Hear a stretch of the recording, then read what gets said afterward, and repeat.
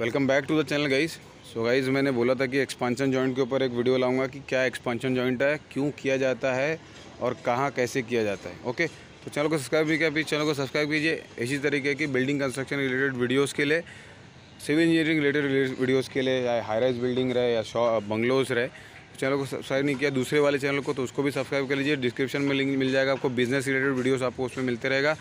So start करते हैं। सबसे पहले देखिए कि ये जो अपना कॉलम है देखिए, ये वाला कॉलम जो है, बड़ा वाला, जो ऐसा कॉलम है, वो बिल्डिंग का मेन कॉलम है ओके फिर उसके बाद एक ऐसा कॉलम है, ये एक कॉलम है, दोनों देखिए सटा हुआ है एकदम कॉलम वहाँ पे भी देखेंगे आपको तो एकदम जॉइंट है, सिर्फ़ बीच में पच्चीस एम का गैप है ओके पच्चीस एम का गैप वहाँ भी देखिए, थोड़ा सा गैप दिख रहा है वहाँ पे वहाँ पे भी देखिए वाइट कलर का थर्माकोल दिख रहा है थर्माकोल डाला है हमने थर्माकोल ताकि तो जो डिफरेंस है दोनों में, वो डिफरेंस कायम रहे। तो थर्माकोल आपको कंपलसरी डालना ही है, अगर ऐसा आ रहा है कहीं कंडीशन वहाँ पे आप देखेंगे तो वहाँ पे थोड़ा ज़्यादा गैप है, क्योंकि आपका एक्सपांशन जॉइंट है, वो सीधा जा रहा है। ओके तो वो कॉलम थोड़ा सा पीछे है, देखिए, ये कॉलम नज़दीक है, इधर है, वो कॉलम पीछे है। तो वो स्लैब के अंदर कैंटिलीवर में लेके कर चला जाएगा ऊपर के ऊपर। ऊपर जब आ जाएगा तो मैं दिखाऊँगा आपको एक्सपांशन जॉइंट दिखता कैसे अभी बता दूँ ग्राउंड लेवल से मेंटेन कैसे करके चलना है। तो ये, जब भी आपका देखिए, ये बिल्डिंग देखेंगे आप तो कितना बड़ा बिल्डिंग है, देखिए।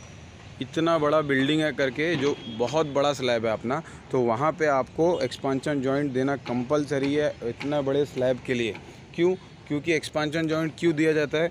क्यों? ये एक्सपांशन जॉइंट है, उसका दूसरा नाम आपको मिल जाएगा कंट्रोल जॉइंट ओके ये क्या होता है? ये गैप होता है ओके वो क्या करता है? कंक्रीट का जो एक्सपांशन और कॉन्ट्रैक्शन होता है, बढ़ता है थोड़ा सा क्या है? कॉन्ट्रैक्ट होता है या एक्सपांड होता है ओके उसका जो मूवमेंट होता है, वो मूवमेंट बियर करने के लिए वो क्रैक, वो मूवमेंट अगर नहीं होगा एक्सपांशन जॉइंट के अंदर तो क्रैक आ जाएगा। तो कहीं भी स्लैब में क्रैक आ सकता है, कहीं भी क्रैक आ सकता है।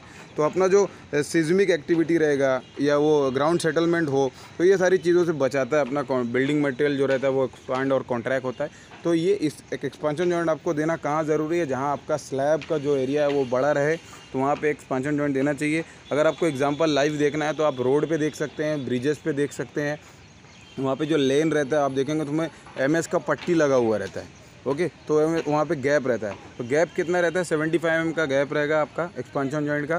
सेवेंटी फाइव एम गैप होने के बाद फिर आपका, उसका हंड्रेड एम का फिलिंग आता है। उसका खुद का एक फिलर मटेरियल आता है। जब फिलिंग होगा एग्जीक्यूट करेंगे एक्सपांशन जॉइंट को, तभी मैं आपको दिखा दूँगा। बट यहाँ पर इंपॉर्टेंट क्या है कि एक्सपांशन जॉइंट अगर इंड्यूस हुआ है तो seventy five M gap hundred M का उसका डेप्थ रहेगा।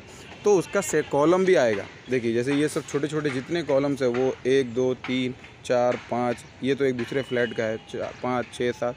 तो जितने भी कॉलम्स भी आएँगे, उसको सपोर्ट करने के लिए कॉलम भी आना कंपलसरी और आना चाहिए। उसके बाद इसका अलग से सेंटर लाइन आएगा with reference to the main building. Otherwise इसको आप सेटिंग नहीं कर पाएँगे।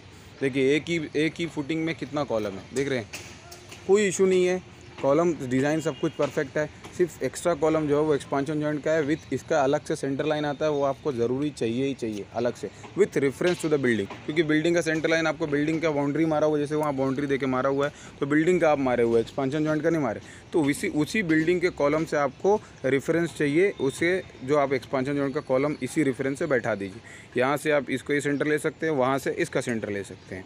ओके तो ऐसे कॉलम बैठ जाएगा और इसका क्या क्या रहना चाहिए? सेंटर लाइन रहना चाहिए शेड्यूल कॉलम शेड्यूल रहना चाहिए और फुटिंग रहना चाहिए कि कैसे चेंजेस हुआ है। जैसे कि वहाँ पे एक्सपांशन जॉइंट नहीं है तो उसका फुटिंग अलग रहेगा। यहाँ पे एक्सपांशन जॉइंट है तो इसका फुटिंग अलग रहेगा।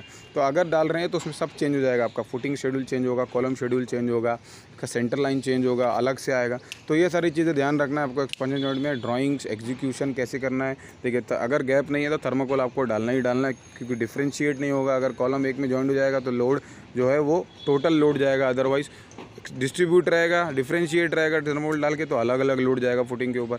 तो ये सारी चीज़ें एक्सपांशन जॉइंट के लिए क्लियर होगा कि कैसे क्यों किया जाता है सिज्मिक एक्टिविटी उसके बाद आपका ग्राउंड सेटलमेंट ये सब बचाने के लिए क्रैक बचाने के लिए हम लोग एक्सपांशन जॉइंट डालते हैं, चाहे वो बिल्डिंग का स्लैब हो, चाहे वो रोड हो, चाहे वो ब्रिजेस हो। तो ये सारी, ये था आपका एक्सपांशन जॉइंट क्यों किया जाता है ग्राउंड लेवल से मैंने बताया, ऊपर जब इसका काम होगा तो मैं एक्सप्लेन करूँगा प्रॉपरली कि एक्सपांस लाइव दिखा के कि एक्सपांशन जॉइंट को एग्जीक्यूट किया जाता है। क्या कौन सा चीज़ें मटेरियल उस पर फिल किया जाता है? कौन एम एस पट्टी यूज़ किया जाता है कि क्या किया जाता है? वो मैं आपको वीडियो में आगे प्रोजेक्ट जब हो जाएगा, ऊपर स्लाइव आ जाएगा तो हम लोग करेंगे तो बता दूँगा आपको।